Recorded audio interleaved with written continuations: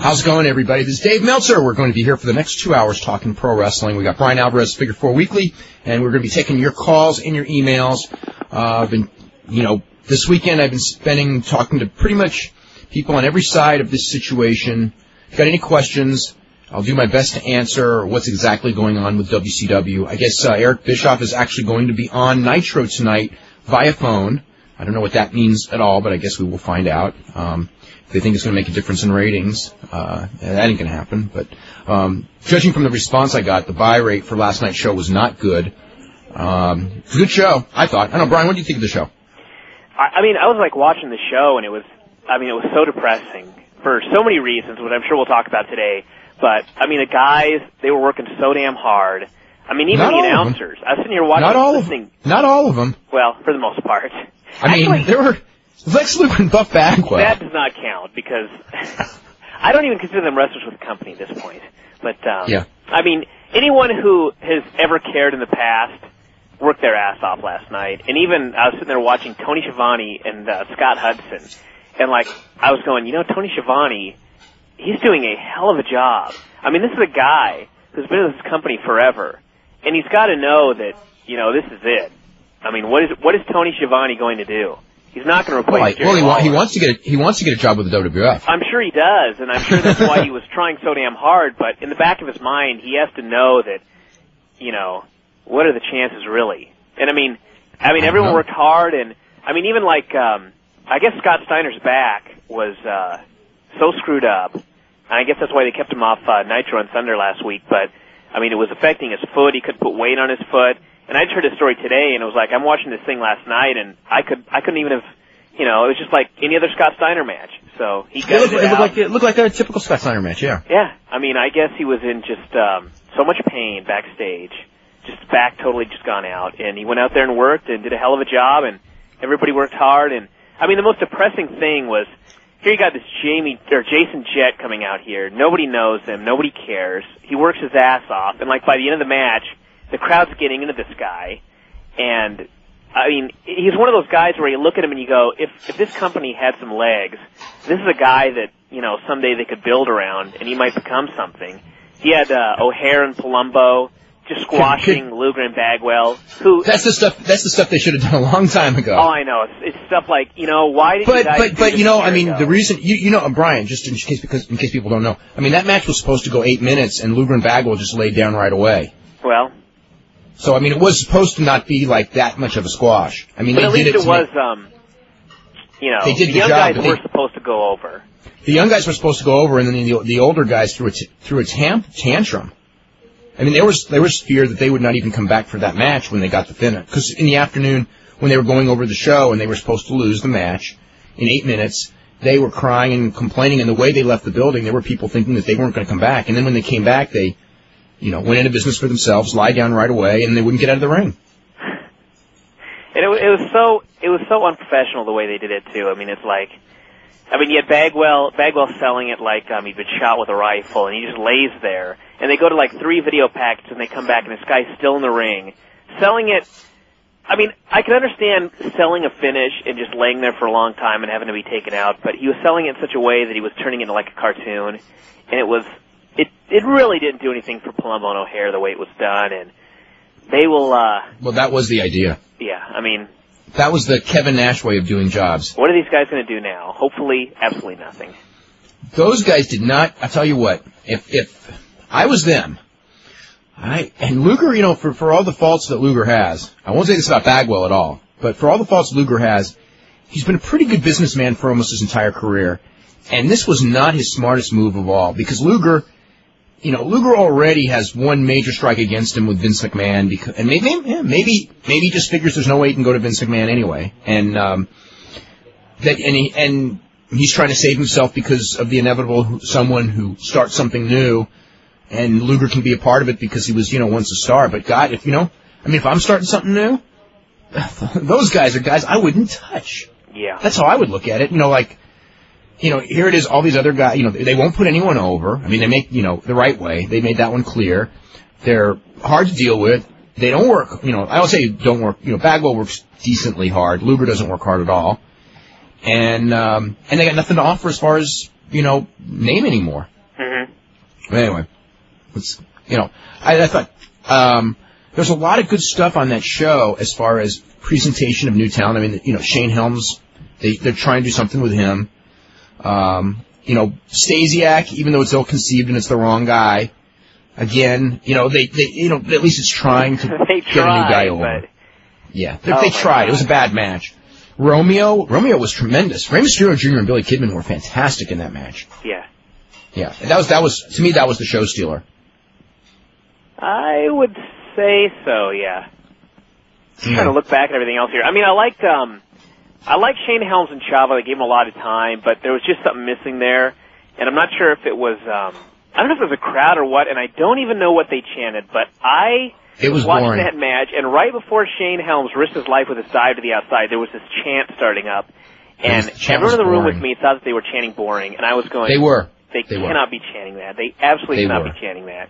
And if They they were. were, then I'm ashamed of all those fans. But uh, They were, and you should be ashamed. Oh my god, I mean, there was a little something missing from the match, but there was nothing missing that would um, justify anybody chanting boring at those two guys. And um, I mean, the other thing I have to say is um, Dusty and Dustin Rhodes versus Ric Flair and Jeff Jarrett. I was I had so much fun watching that match, and it wasn't like I would ever want to see Dusty Rhodes in a pay per view semi main event again, or even as much Ric Flair. But uh, for that one night, I thought that was pretty damn awesome. I wouldn't say all. I mean, it was good for the building, and I thought it was good because it's the final pay per view of the company. And you know what? Ric Flair should be on the final pay per view of the company, and and what the hell? You know what I mean? It's Florida.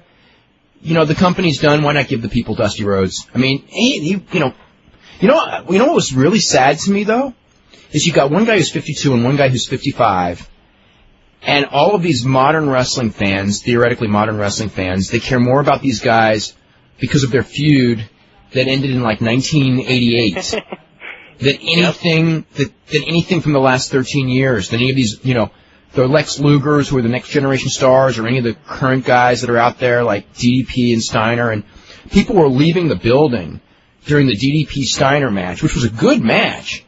And they were leaving because they'd already seen Flair and Dusty. And probably more Dusty than Flair Yeah. and it's like it's just so it, it's sad I mean I, I'm glad those guys got a big pop for you know for themselves and and you know they they were, were great in their day and all that, but or whatever they were exactly. I don't know what I would You know, say you know about one of the things about Dusty and Flair too that um, there's a reason that I don't mind seeing them um, on occasion, and that is when you have someone like Lex Luger or you have someone like Hulk Hogan who is old and far past whatever prime they may have had. They go go in the ring, they do nothing, and it's so obvious that they're doing nothing, and it's so horrendous. But Ric Flair and Dusty Rhodes are so great at going in there and knowing how to do nothing to the point where it actually looks like something. I mean, those fans No, were going they do what crazy they- for nothing. They were No, but it was the for- trademark. It's the trademark Dusty Nothing that they spent their whole lives watching, and the Yeah. trademark Ric Flair bumping for Dusty. I mean, it was exactly what they, you know, like Flair didn't do his flip. You know, Flair really didn't do didn't anything. do a lot. A lot. Well, he did. he did a chop did- and he took some bumps and He did. He did a few things, but yeah, you're right. He didn't do a lot, and Dusty did almost nothing. But it was, but it was what the people wanted. They wanted and to they see. knew how to do it. yeah. Well, they wanted to see Dusty do the one thing and then the other thing, and they wanted Ric to bump for him, and they got what they wanted. And they didn't want much else from that match. And what else do you want? You really don't. You know, they, did, they certainly didn't want to see Dustin and uh, Jeff Jarrett at all. Oh yeah, yeah. They just were there because the other guys couldn't do this. You know, weren't going to be doing a single match, and it's good. And it was good that way because Dusty and Ric Flair in a single match, if they had gone eight minutes, it would not have been as much fun. yeah. I mean, the way I look at it, it could not have come off any better than it did. I agree. So Anyway, Can't go wrong we we are avoiding the big subject, which is the future of wrestling. yes, Any any thoughts? I I don't even know what to say. I mean, it's uh, it's just so depressing to watch this pay per view, and I mean the whole thing is like I'm sitting here thinking, okay, next Wednesday there's gonna be no Thunder, and the Monday after that there's gonna be no Nitro, and it's gonna be uh, you know Raw and SmackDown and some EMLL, and what else is there? I mean, where Yeah. I felt Well, so we'll bad start watching the MLL. the hardest working guys on this pay per view are so screwed. They are screwed. Oh God. Where was- where is Jamie that was- Noble going to go? That's what I was. Well, he wasn't even on this paper, but you know, that's the the tragedy of all this is that I think that if you look at the guys who ruined the company, okay, some of them, okay, Eric Bischoff, you know, and he maybe, you know, whatever he does and makes the save and all that tonight, you know, whatever. But Eric Bischoff still has got to be high on the list of the, you know, if you look at the people who ruined the company, Bischoff will, some, Eric Bischoff is a guy, he's going to make it in life. I mean, if you, were around him, you know, he's going to sell a TV show, he's got the right friends, he's going to get a job, you know what I mean? He's fine. Okay? Brad Siegel is going to be a big time executive in television forever, and he just made one horrible decision after another. Now, Russo, I don't know what's going to happen to Russo. Frankly, I don't care. He's, you know, he, can I interrupt for just one second? Yes. I just got to get this off my chest. My entire life, I have never wanted to punch anybody, and I've never wanted to punch anybody in wrestling. I mean, as many horrible decisions as I saw, and as many horrible matches I saw, and as many horrible Hulk Hogan matches, and Hogan screwing over people, and Big Show making certain comments on certain radio shows. I've never wanted to punch anybody, but I want to punch Vince Russo right in the face. He's the only person ever, and I think that no one else in my life I will ever want to punch, but I really want to punch Vince Russo. Really? I mean, he he killed this thing. He really did. I think he killed this thing. It wasn't just him. It, I it mean, wasn't you know, just he was. him, and I know that there were a lot of things that um, happened, and I, I've been writing this whole thing on uh, the last six years at WCW, and you know, there's so many mistakes, and I'm looking back at things that you know we wrote in 1998 when they had like 13 straight sellouts, and that same week we're writing this thing's going to go downhill, and I understand all that, but there was a chance that it could be salvaged, and um, he uh, he killed That's it. true. That's true. So there's no it could not question in my mind that this thing was totally salvageable when he took it over, and when he was done with it, it was not. Yeah.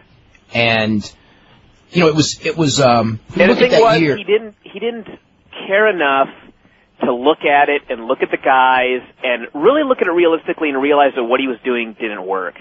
It was like, you know, what I'm doing does work, but nobody else gets it, and uh, he was wrong.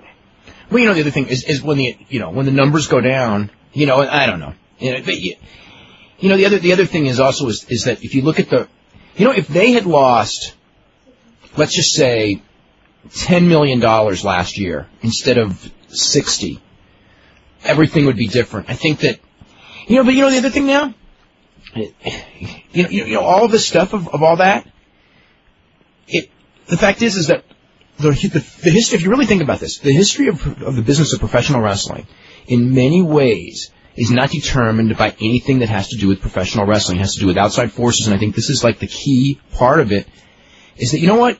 If they were doing a three rating, Jamie Kellner, or a 3.5, and if they were doing great business at arena shows, and let's say they were only losing a few million dollars a year, or good business at arena shows, or maybe even big business, Jamie Kellner may have come in and just said, I want to redo these networks, and wrestling doesn't fit into, into my thought process.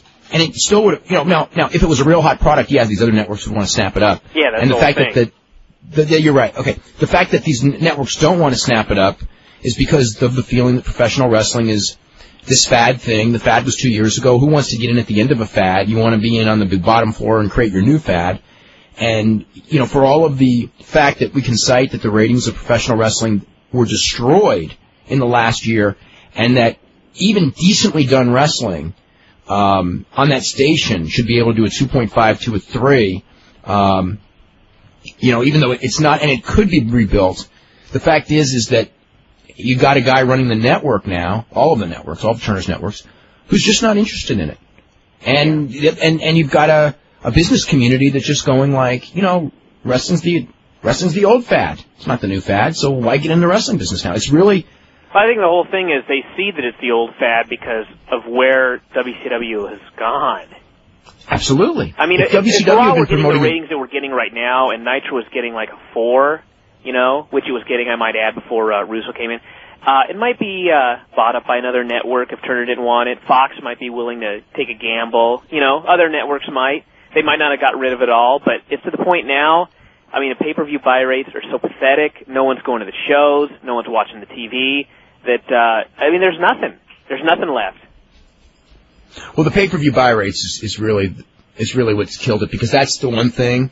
As long if you had done like big money on pay-per-view all the time, you would at least, you know, you'd at least be in the game. I mean, a lot of those losses, a great deal of the losses of the company um, would have been negated by good show attendance and, and pay-per-views.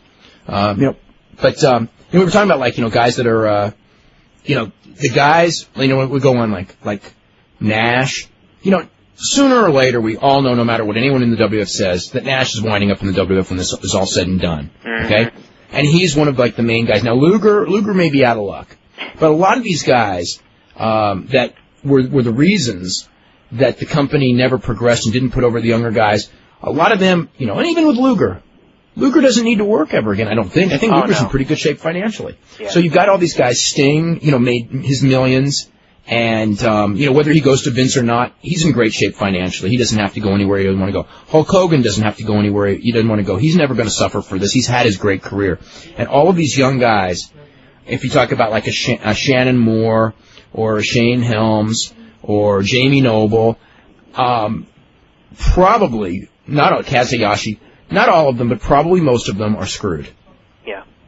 And it's and you know it's just I, it's what we could you know the, the you know and and people that work behind the scenes, you know the ones that really cared about the business that unfortunately saw the booking go astray, they're screwed too. Yeah. So that's what happens when companies close, unfortunately. Um, I'm just trying to think if there's anything else to add to all this. Um, well, we talk about uh, WWF and Jerry Lawler. I mean, Vince McMahon does not hold a grudge, does he? Oh no, of course not.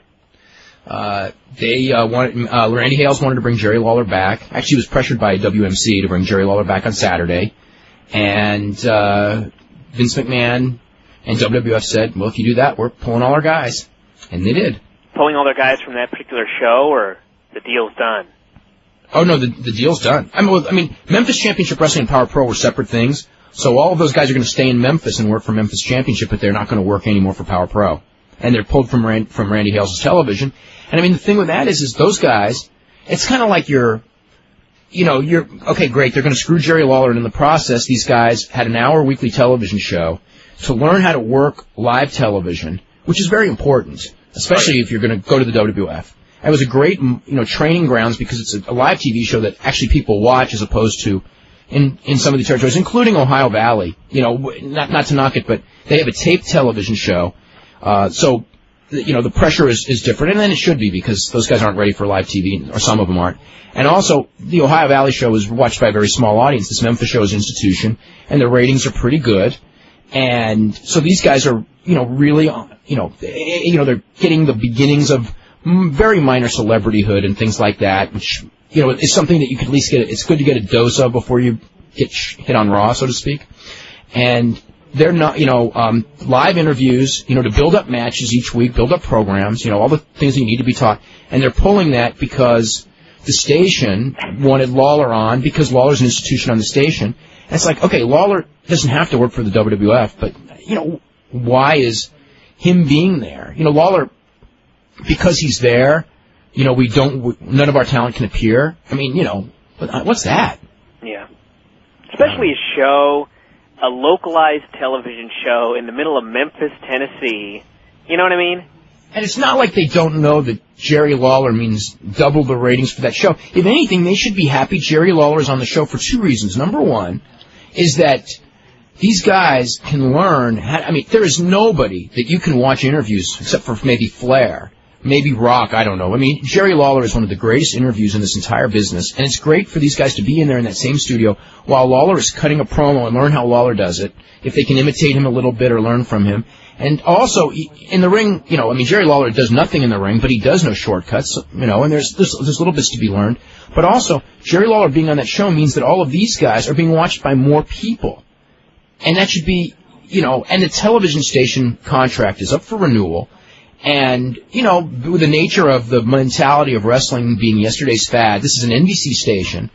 And, you know, you want to, I think it's important to keep your ratings up. And if Lawler being on the show is going to help keep your ratings up, plus Lawler has a great relationship with the station, if that makes the difference between, you know, getting a renewal and not getting a renewal, why would the WWF stand in the way of Lawler being on the show? I mean, it, it's, I just, I, I find it so petty. But are you surprised?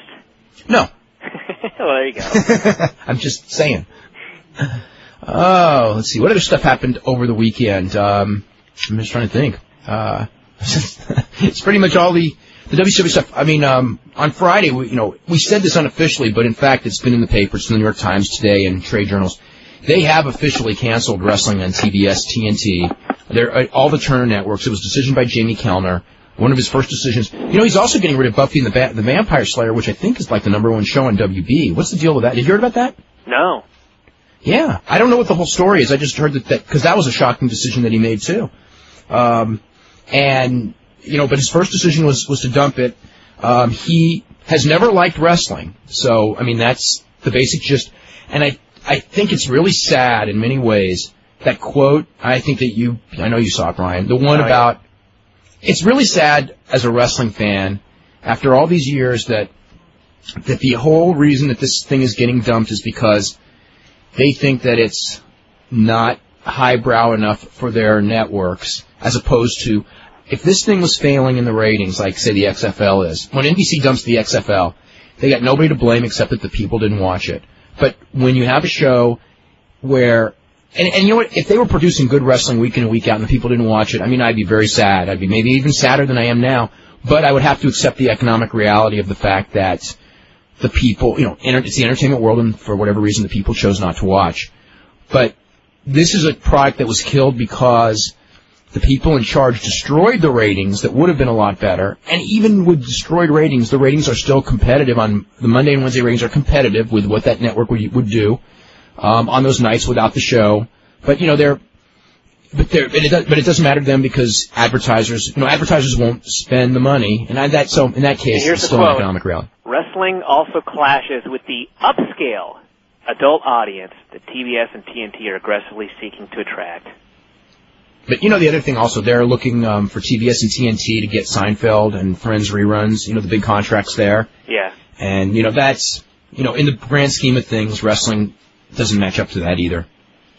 Basically, this is the situation, and I want to get this over with. Um, there's, there's pretty much many different ways that this thing can turn out as far as the future of the various wrestlers and things like that.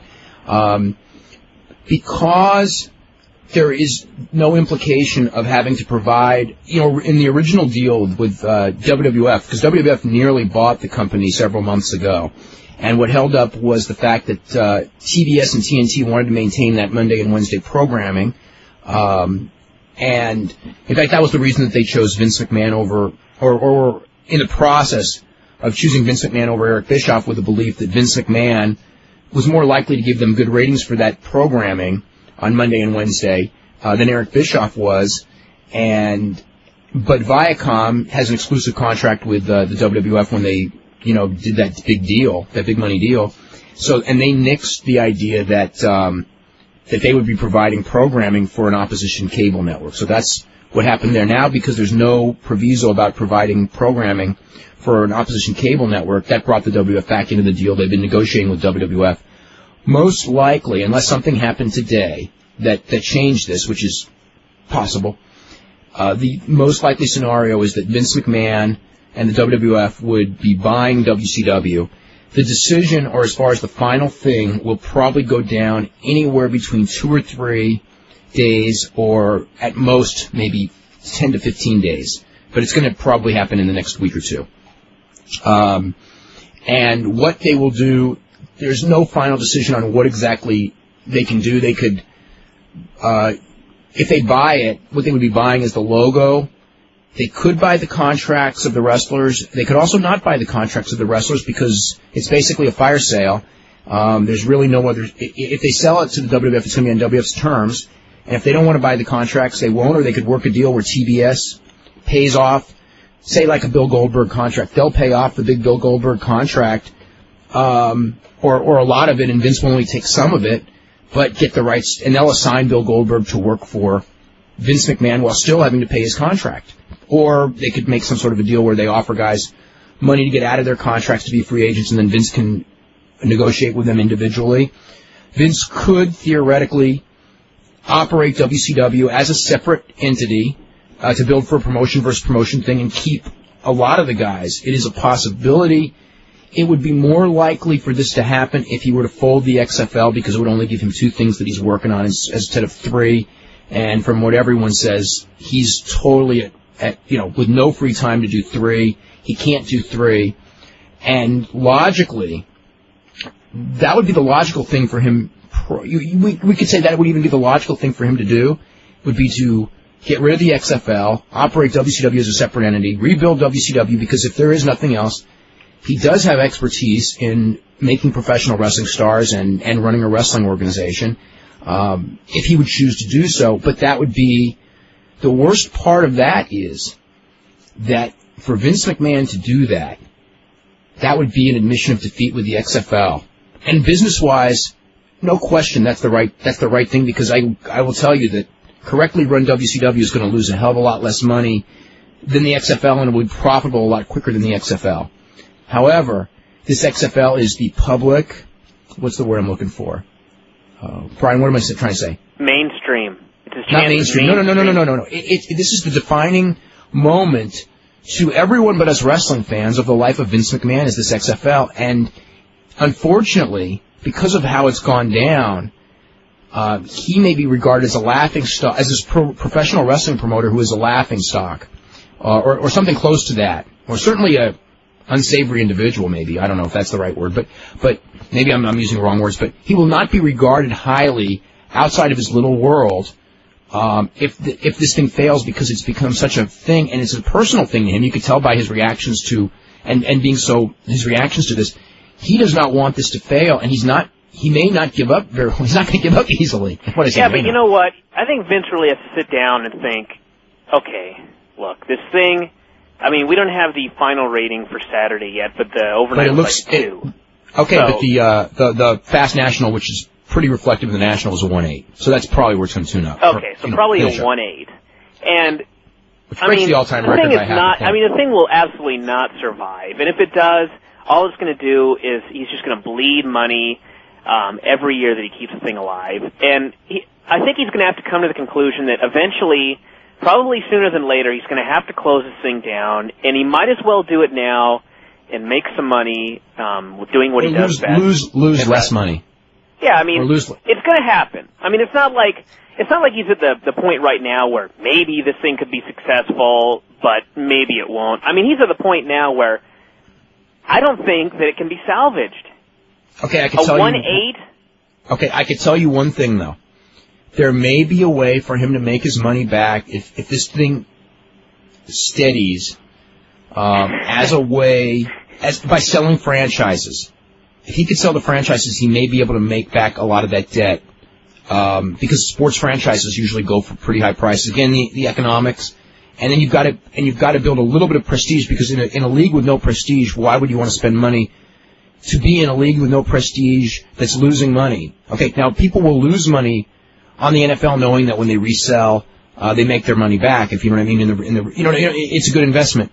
So it's he's got to build the prestige of the league up um, before he could offer it for sale and make and, and have and have like real life you know yeah, major offers. Of, think of how much money will be bled from this XFL with him waiting for it to get any prestige whatsoever. Mm. It's not like something that's going to happen by the end of the season. No, that's going to take a couple years. Yeah, and, and, a couple, and a couple years, years are maybe down to nothing. million or whatever he's going to end up losing a year if this thing uh, continues at this rate. Well, and the other thing too is, is I, I will say one thing is guaranteed: it will not be on primetime in NBC next year. Mm-hmm. I mean that that much is you know it may be on Saturday afternoon on NBC, it may be where it will flop, or it may be on um, uh, CNBC on Saturday night where it will really flop. Um, but you know, so so I mean, there's that big thing they got, which is that primetime network. I mean, the, the, the value of that that's going to be out the window, and it will not be on primetime in UPN next season either, because those numbers are actually worse than NBC's. Yeah. I mean, I just think that Vince needs to look at it as like, okay, I'm losing way too much money from this, and if I don't do something to salvage this second wrestling company, and it's just, you know, my one WWF monopoly, my wrestling business is going to start hurting as well. And then, you know, then what? He's going to have lost his XFL, his uh, leg, his mainstream legacy. He's going to be losing, or at least um, hurting, his wrestling business, and he's going to be up a creek. Well, you know, he's right now. Right now, he's a long way from being up a creek That's because the wrestling's doing so well. But you know what? so he may not go. Be, so is WCW. You're absolutely right. Okay, but they are not going to make the same mistakes WCW made. However, you they never could know make about new mistakes if they're the only game in town. and they could make new mistakes if they're not thinking right. And the other one also is that um, you never can count on the public. This is a very cyclical public. I mean, they may tire of Vince McMahon's version of wrestling. Yeah. You know what I mean? One of the scary things about wrestling switching from simulated sports and not, you know, you know, I've been thinking back about all this. You know, you know, you know who is to say? You know, what's funny is, is like with, with Bischoff, okay? You know, Bischoff was one of the people who did help kill the company. Who is to say in 1993, I remember how bad it was, that they wouldn't have shut this thing down by 1995 if Bischoff hadn't have come up with Nitro and hadn't have turned this thing around. Maybe Bischoff gave it four more years than it ever would have got. I don't know. Um, I mean, they, you know, every other owner was certainly going nowhere with it. Maybe if it was owners where they were losing two, three, five, six million, ten million a year, running low budget wrestling, you know, who knows? I mean, if Turner hadn't done the AOL merger and Turner still had had power himself, thing wouldn't have been shut down probably. Eh, well, the losses this year are so big that maybe it would have, but there's so many what it, there's so many different things. And again, with, with McMahon for the future, um, you, you just don't, you just don't know that, like, like a television show, you know, it has a certain show, a, a, a sport, like say the NBA the NBA may be on television for a long, long time and theoretically may exist forever. It's been around for like 50 years. Okay, the NFL's been around for 75 years. Baseball's been around for over 100 years. Boxing's been around forever. Sports last a long time. Television shows don't. Yeah. And I mean, that's the difference. And when you become a variety television show, you know, you get five, seven years out of a variety television show. That's, that's considered, you know, great. Ten years is considered, you know, very, you know, very few shows in history go ten years. And when you become a tel, you know, you know, Monday Night Football, great, of course, has been, a, been an institution, but that's a sport again. But you know, you become this variety television show with characters. You know, sooner or later, people get tired of the characters. The characters grow up or whatever, and you know yeah, what I mean. you know what? Another way to look at it is, if you look at like um, soap operas, those things No, can be around much longer. Some la- some last they for some. new characters in and get rid of old characters, and it's Some- not like you've got like a core of people, like for for instance, M*A*S*H. What are you going to kill all the people, the main characters in M*A*S*H, and bring in new characters and keep the show going? Well, the thing with soaps, some soaps do last a long time, but some soaps don't. Yeah. So, anyway, let me get to this really quick. Uh, poll question. Uh, how would you rate the decision to cancel wrestling on the Turner networks? A, the biggest story in the history of wrestling. B, the biggest story in the last 30 years. C, one of the biggest stories. D, a big story, but not among the biggest. Poll for the weekend. What best describes your thoughts of where wrestling will be in one year? WF is going to be the only game in town. 35%. Which is actually, well, we have two, two that kind of, anyway, we'll, we'll talk about this. B, someone will buy WCW make a go of it, 17%. C, someone will open up a new company, a new major company, and make it work, 13%. UFC or mixed martial arts will become a real player, 6%. That is very low. Especially since UFC may be number two uh, in like eight days at this rate. Um, it's a very weak number two, I will say that. It's terribly weak right now.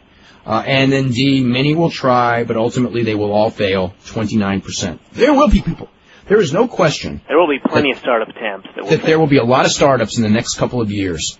But again, you're going to need na- strong national cable um, behind it and uh, a lot of money.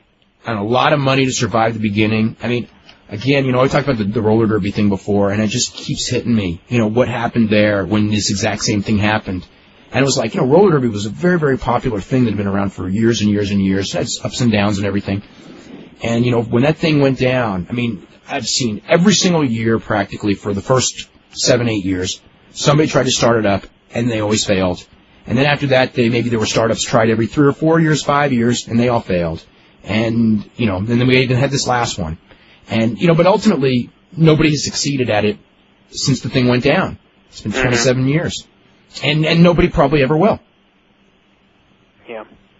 Tons of emails. Let me just go through a couple of these from Chris Najek, who says there was something really annoying about those comments from Jim Weiss about WCW not being part of their upscale brand. It came off as really snobbish. Well, it was. And I took it as a slap in the face to wrestling fans. Definitely was that. And to the industry itself. And it was that too. I like, uh, if you ask them if the ratings went up, would it be upscale enough for them? I'm not surprised you didn't give an answer. Um, because they don't know the answer. You know, it was, here's the deal. It was a decision by Jamie Kellner. He just did something with Buffy, and I'm not exactly sure was. That was his highest rated show. he has not liked wrestling. I know people who've known him for over 20 years. He has never liked wrestling. The, if the ratings were good, he would have had a harder time getting rid of it. If the company was super pro, now first of all, if the company was turning a profit, I think they would have kept it. But if the ratings were good and the company was losing money, I think that he would have gotten rid of it. I think. Especially if the story about Buffy is uh, true. Well, Buffy's definitely off of WB. I think it's moving to Fox. In fact, I'm pretty sure of that one. Hmm. Uh, it was, but I, I didn't read the exact story, but this story was actually out in, I think, today's trade journals also. Because that was his second, his first move was wrestling, his second move was Buffy. Um, let's see. Um, can guys work independents after March 26th? I think anyone who wants to work independents can, or do they have to wait until their 90 day cycles are up? No, I mean, they're not gonna, what are they gonna do, suspend them? Yeah, exactly. You know, I'm sure low-level guys that were already doing independents won't be affected, but what if a money mark wants to bring in Jeff Jarrett and Lance Storm to headline an indie show? Could he? Yeah, I'm sure he could. Uh, let's see. I heard you on the radio today in Boston. You said you might expect some wrestlers to appear at WrestleMania. That's just hypothetical. Um, other than Shawn Michaels, I mean, I would expect Shawn Michaels at WrestleMania, no, you know, no matter what. But uh, which wrestlers would you expect, and would they waive the 90 agreement? All of that matters again on if WWF buys WCW, then they can bring in whoever they want. And if they're in negotiations to close a deal, WCW is not going to, and they go, hey, can we use this guy or this guy, even though we haven't closed the deal for WrestleMania, since the deal's about to be closed, I think that, I don't think anyone's going to say, no, you can't. So it's really, that's all up to WWF. Uh, or up to, W- uh, yeah, up to WWF what they want to do. Uh, that's from Steve who says, uh, or Derek Gold who says, it's a sad day for pro wrestling with the WCW thing and ECW gone. Who could you blame in WCW? The list is very long. You can say the match with Kevin Nash and Hulk Hogan. Listen, there's, there's so many you can't name, you know, Bill Goldberg losing to Kevin Nash. I mean, any one of those things on their own would not have killed it. There were so many things, just just for years straight. If I were to name like Um, one thing that would be like a death blow, if you could name one, it would be uh, Turner selling Time Warner. Yeah, and and Jamie Kellner being uh, brought in as president. Yeah. That, that those are the two. Those are the two main things. Uh, let's see. This is from Ron, who says if all if WCW closing down is on the level, well, it's on the level in some form. I mean, what's on the level is that is that the Turner networks have canceled wrestling. That's on the level. As far as if Eric Bischoff can uh, get money together, which he probably which he probably can if he had time, and get a television network to bite, which is a question mark right now because no one's jumping at it. But if he could get that, and they are willing to sell to him and not Vince McMahon, then the company can be salvaged. It is a possibility. I don't know what happened today. Um, a lot of what happened today may have, you know, you know, maybe we'll find out tonight. Who knows? Yeah, but you know what though? If Time Warner has canceled the shows, why would it really matter to them who buys the company? I mean, the whole thing before was well. no, no, no. You know, wait, no, they're just trying to get the most money for it. But here's the other thing: you're Vince McMahon. This is your chance to win. I mean, win for good, because no one's going to start up and challenge you. Okay, this is your plus get any piece of talent that you want. You've got them under contract for however long they're under contract. All you got to do is outbid Eric Bischoff, and Vince is going to have more money than Eric can raise from investors. That's true. So, and I'm not saying that he's willing to spend $100 million to do it this week, but, you know, the idea that he wouldn't outbid him, and they're just looking, and, you know, Time Warner, they're just looking for the best money deal. Yeah. And once they've canceled the programming, they're not looking for, you know, the, the $100 Who will million do the they were looking for. Yeah, or who, they, they, they don't care what's best for wrestling and best for wrestling competition. So, ah, anyway. Uh, let's see. Uh, let's see. There's on the last Nitro. The last scene we should see is Ric Flair standing alone in the ring, holding up the belt, having won his 15th world title. Nope. You know, I was thinking Ric about Flair- that this weekend though. What? Ric Flair beating Scott Steiner in uh, Panama City next Monday? I was thinking, well, they could do the angle where uh, Flair's the guy who was jumping all the uh, Magnificent Seven. They signed the match, and during the match, everyone makes their big comeback. Goldberg kicks Steiner, Flair pins him, and the show and the uh, company is over. That that actually is the way to do it. You know, I was thinking that same thing. Is that uh, for the final show, I would bring if it was up to me, I'd bring back Goldberg, Sting, and all of them, and have you know some big thing at the end, and you know a big goodbye. Put Flair over. Yeah. If anybody deserves to be champion, I don't care if he's 100 years old, on the last WCW show, it's Ric Flair. Yeah, you know what? When the company folds, you're right. You're right. That would be the right way for it to end. Uh, this says that they have just cut Mark Jindrak. Uh, let's see. Uh, da, da, da. Um, I'm mailing you to settle an argument. For, for three or four months in the spring, summer of 98, would you say Bill Goldberg was the biggest Steve Austin? Yes. um, he was drawing bigger ratings than Steve Austin at, for for a while there, and mainstream wise, much bigger for for yeah yeah definitely. Do you know what the attendance was for the WWF show at the Air Canada Center? Uh, I think it was about fifteen thousand three hundred, and the gate I'm thinking was like six hundred eighty six thousand Canadian. Is that, is that number right? I'll tell you. I can tell you actually. Hold on. Uh, the gate was 686,000 Canadian, yes. Uh, so that's, that would see, that would be about 440,000 US. Uh, no let's see. way. What? I'm just kidding. I'm just thinking back to every time I get a twenty dollar payoff and it barely pays for Denny's on the way home. oh, you mean Canada? Oh yeah.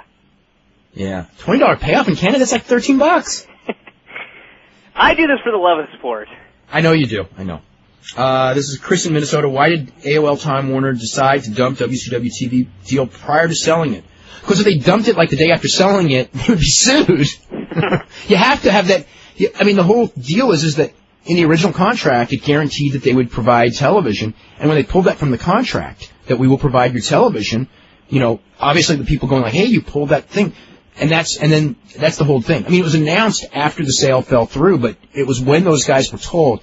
And let me tell you something. There was no guarantee, had that not been announced, that the Fusient deal still would have gone through, because there, there were a lot of, there were a lot of roadblocks in the way, but it, I think it would have, I don't even say I think it would have gone through. There were a lot of roadblocks that were going on in that deal as well, but when they pulled that, uh, you know, the television, that they were not going to keep Nitro and Thunder, um, at that point, you know, what, you know, why would Fusient want to spend $50 million to buy this thing when you're not even guaranteed television? Yeah. Um, let's see. Uh, they had to know that it would devalue the company. Would they sell it and cancel the shows right away anyway? Well, see, they couldn't do that. That's that's the whole point. Could they not decide to cancel it months ago? They may. They. I think. I think because Kellner just got put on board. Was I think it was like two weeks ago, wasn't it? Two weeks ago. Um, Timing is could- everything. it's, yeah. Do you think that Eric Bischoff has? A, don't you think Eric Bischoff has a lot of gall to try and buy WCW after putting the promotion in the shape that AOL felt it had to be sold? Not gall. No, not at all. Uh, it goes, if it's too late, they should still fire Buff and Lex right now. Uh, what do you think the chances are of Steiner dropping the belt? I want McMahon to hire him and then fire him immediately. Just uh, what do you think the WCW company line will be concerning the demise of the promotion? They've made a statement on their website, but what will their TV presentation be? I think they owe the fans the truth, but what will WCW give us? I don't know. phone I'm call from. Eric Bischoff tonight. Yeah.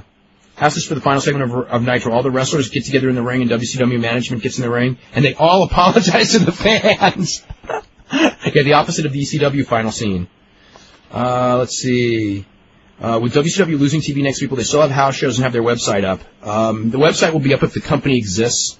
There will be no house shows for a long time. Please humor me and put the rest to the rumor about Hogan being at WrestleMania and help to promote his future league. Well, he's going to be on WrestleMania, he's not promoting his future league. Uh, he's going to far beat as he- Hunter clean, and then he's going to announce that he's leaving to start a promotion on Fox. yeah, right.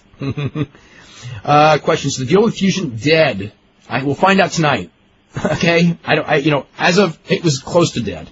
Uh, what would you do to change WCW? It's too late. I don't want to think about it. I've got to think about writing a story on the, the end of WCW. Uh, do you think Shane's looking bigger has to do with his friendship with the Big Show? Got no idea. How do you think Vince came off on on the record? Uh, horrible. Uh, what was Randy Savage supposed to go for Hulk Hogan before WrestleMania 6 and lose the title to Warrior? No. Uh, let's see. There are reports going around the net that Eric Bischoff will be on Nitro Night live by phone. Why would he do it if the deal didn't go through? I don't know. We'll find out tonight.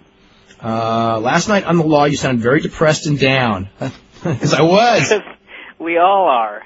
How is the ending of ECW and WCW affecting you personally and your business side? Right now, it hasn't affected my business whatsoever. How it will, I, I, I don't even want to predict. I don't think it's going to be good, that's for sure. As far as personally, I more was more depressed last night um, for the guys. You know, I, I know a lot of those guys there, and some of them are very good friends of mine, and uh, you know they're all going to be out of work, or most of them, and and I was very depressed about that. Uh, let's see. The Flair Dusty match returned me to my childhood. It was great. Nobody got hurt. The violence was fake and fun, and the good guy won, and everybody was happy. Uh, they should have turned the lights off after that match. Yeah, the last match was good too, though. Um, I just thought of this. Christopher Daniels and Michael Modest are screwed again. Yeah, I thought about that one with Modest uh, a while ago. Um, let's see. Uh, according to TNT's website, movies are going to be shown starting Monday, April 2nd. Okay. Uh, when is Bischoff scheduled to meet with Fox? He may have already met with them today. If WCW, okay, let me see what else. Let's start. We'll start going to phone calls. Let's go to Mark in Connecticut. You're first up. Gentlemen, how are we doing this afternoon? Hey. Eh, you know, I could be doing a lot better actually. That's true. Hey, um, as I was finishing up Friday night talking to you guys, I, there was one major point that I forgot to bring up, and uh, I think it affects somewhat the mentality of the possibility of another network picking up the show. It's the fact that, uh, well, we are looking at a writer's strike in uh, in June, and uh, Very good point. normally I would say that uh, it would you know, startup costs now with wrestling would be so much more than they would have been ten years ago, because ten years ago it was one of the cheapest forms of programming going. Um, but I think TBS and TNT are being a little short-sighted because, let's face it, you know, the mother of all Major League Baseball stoppages is coming October 31st when that uh, labor agreement expires. That's And the other thing that nobody, I, I, you know, you know, that's that is something. the, the Braves, I am so surprised they because they have so much programming tied up in the Braves. the Braves provide quite a lot of programming. I mean, you know, it's for, it's just so funny that WCW was a loss leader for so long that I mean, I guess that once the ratings fell below a two and the losses, how do you lose sixty million dollars? I mean, I was just trying to say, Bad, bad, bad management. The other thing is too, is but Dave, you know, this is a lo- a lot of a lot of this was Russo and creative. You know, how much money did they spend on But props? Dave and Brian, That- here's my point, okay? Uh, let's say the guaranteed contract for all the guys' salaries, let's say at most totaled 12 to 15 million dollars, okay? No, no, no, no. Salaries probably total about forty. For that much? Oh my, Yeah. even with the kiss, oh my gosh. Yeah. Well, I guess that shoots my theory to pieces because I was going to say, how much could your live events, I mean, $200,000 per live telecast and you are getting at least a thousand paid. So maybe if you're only losing 50,000 a live telecast times 52, that only would have been four or five million. I mean, it was just until I didn't think the contracts were so much a, uh, you know, disproportionate of that loss. Yeah, but they were spending three quarters of a million dollars on, uh, you know, a week on, on production too. You know, one of the stupidest things that means absolutely nothing in the grand scheme of things, but I saw it last night and I thought, well, this is one of the reasons why this company loses so much money. I'm watching Jeff Jarrett come down to the ring, and he lifts his guitar in the air, and pyro comes out of his guitar. and I thought to myself, okay, why the hell do you need pyro coming out of your guitar? And it was like, even though that had absolutely nothing to do with anything, it's like, I thought of that, and then I thought of the limo being tipped over by a forklift, and I thought back to cars blowing up, and I thought, this is why this company, you know, this is why this company's losing 60 Little mini movies filmed on beaches. Stupid Well, that was something different. That was another era. Oh my gosh, I know, but That, but that was one of the bad ones. That's for sure. That's true. Um, you know, my my point being is, um, I, I guess I owe you know Mr. McMahon an apology. A couple weeks ago, I alluded to the fact that he is very much ego driven, but uh, I guess Jimmy Kellner really does carry a big stick, doesn't he? I mean, talk about egos coming in and just cutting a path his first week in the uh, in the division. yeah, yeah. You're telling his first his first two decisions. I mean, exactly. Um, I, my apologies to McMahon. I, Jamie carries a far bigger stick than Vince has ever had at this point in his time. That should also tell you that they're not thinking these things out. I mean, this guy's been in for two weeks, and th- That's true. these decisions have already been made. Um, I think one of the other points I wanted to make, um, you talking about privatizing the um, the XFL with the ownership deal. Vince maybe recouping his losses by privatizing, but in essence, that would defeat what he was setting out to do. It wouldn't be his league anymore, and that was the whole purpose to start this because Well, that's that's true. the owner, the NFL ownership would not ratify him as an owner or part owner of Vikings. So I'm still Oh, they sure won't now. exactly. I'm sure this whole thing was to stick it in Vince's eye. I mean, stick it in the NFL's eye, and Maybe the Canadian League more than than than, than them actually, because the Canadian League, he wanted to buy the CFL, and that's they true. they told him no. And I, I mean, you know, deep down, I think Vince knew he couldn't beat the NFL, but I think he probably did think he would beat the CFL. And do you realize there's still rumors that he's going to be part of an ownership group, group to buy the Red Sox? There's No, he's turning. I, I- think there's never been anything to that one. I I, think that was just. You I think could, so? I could see him being. A, I mean, that would just give him Well, part of a as far as part of an ownership group, yeah. Yeah, as that's far as main thing. owner, And that I would think be. I, I would be very surprised if the, if the if the ownership would vote him in, but he does have Steinbrenner on his side, and whatever, however Steinbrenner votes, so do the other 28. So Yeah. he might have had an in, but uh, I'll let you guys go. I just wanted to bring up that point about the uh, the uh, the director and writers guild stoppages and the major league stoppages, the uh, the uh, the work agreement at the end. So maybe you want to talk it from from it from that uh, hook. So uh, I'll let you guys go, and I'll talk later. Talk to you guys later. Bye bye. Yeah, that is a really valid point in that the Screen Actors Guild, if they go on strike, there'd be no there, there, there'd be no writing of new television shows, and wrestling does not fall under those uh, under those whatever under that umbrella. So it, it could provide first run programming for a network during a period where a lot of networks are going to have a lot of trouble doing first run programming, and it can be very valuable because again, wrestling can be it, it can't be done cheap like like it was in the past, but it can still be it can be cheaper. I mean, put it this way: um, an episode of wrestling probably costs a whole lot less to put together than say an episode of um, what was that show on that's on after that used to be on after wrestling Bull. Um, that wasn't drawing half the rating, but then again, you know, Bull was probably drawing better demo. I mean, demos. I mean, not demos, but um, better More advertising rates. demos. Well, yeah, more, more valuable, whatever it's called. Uh, Mike and the Mad Dog, a radio show on uh, WFAN in New York, said that they are going to have Vince McMahon on the show Thursday at 3 p.m. Okay, that's fine. You know what else they said? They said that Bob Costas was unprepared and that they will do a better job, but that they would stick to talking about football. So I would Oh. like to, Okay. I would like to hear them do a better job. I mean, I'm not saying that they won't. I, I would just like to hear them do a better job. Well, I will. Uh, I will tape that interview. What time is it again? Uh, 3 p.m. It's 3 p.m. 3 p.m. on Thursday. Thursday. All right. Well, I'll be doing Eddie's show, but I'll make sure I have uh, a radio going with the tape. Okay, and Brian, real quick, Yeah. um, have you have you seen the tape of the show yet? No, not yet. Okay, okay, I have. So if anyone wants to bring that up, um, I, you know, there's really the the perception I got watching on tape was the same perception I got when we listened to the two segments. I thought Vince was was pretty good on the XFL, and I thought that he just came off horrible on the wrestling. In fact, horrible to the point I was embarrassed to be. I was I, I, I was embarrassed to be a wrestling fan that this is the man who was the leader of this profession. You know what I mean? Because it's like it's Yeah. it's hard en- it's hard enough. I mean, I, I always say it's hard enough. I've been through enough in life defending being a wrestling fan. Okay, against unju- against unjust criticism. Okay, and it's really bad when the number one guy gives you gives everyone watching it tons of just criticism, and you just go, "You're right." What can I say? And and I uh, I will say that there's a couple of points we've talked about before, and I wrote a lot about them in this week's Observer. uh, That that they're very minor points that I do think that Costas um, was was um, I'd say unprepared on. Um, that one one you know that I wouldn't have brought up the the tape thing. I think that he should not have brought that up. Um, but overall, I thought Bob Costas, given the situation, I think he did an excellent job, not even a good job. And I think that the criticism of Bob Costas is, I think that it's it's two things. It's number one, um, I think I just, think it's totally unjust. I'll just leave it at that. Okay. Um, other than if you, How if you did Vince come criticize, physically? I never thought for a second Vince was going to hit him, which a lot of people thought watching it. I mean, Vince was trying to intimidate him physically. Costas didn't. Like the Mr. McMahon intimidation? yeah, like definitely. And then one time, trying to intimidate another real life human being. Yeah, and then another time he tried to do this Chief Jay Strongbow, which you probably wouldn't even know what that is, Brian, but but he would because he grew up with him. Um, but uh, like this Chief Jay Strongbow thing of trying to verbally, like you know, the way he was moving his head and everything, I'm going like, oh my god, this is Jay Strongbow from the '70s. So he was doing stuff like that. Um, you know, like just basically going into into a, a cartoon of a person. And you know, Costas Costas did a hell of a job, and he was you know Costas was calm through the whole thing, and um, you know, I, I think he did a hell of a job not losing his cool um, under the circumstances. If I was, I, you know, if someone wrote in and goes, you know, it's too bad, you know, you didn't do the interview instead of Bob Costas because whatever. And it's like, believe me, if I could have done that interview and not lost my cool um, and stayed on track, I would be a better person than I am because I couldn't, I could not have done it. I'd have lost. I'd end up in a, you know, if he started arguing, I'd have started arguing back, and everyone would forget about every issue and be two children arguing, and it's what good would that be? Uh, let's see, it's from Bob Calhoun. It'd How be much fun TV.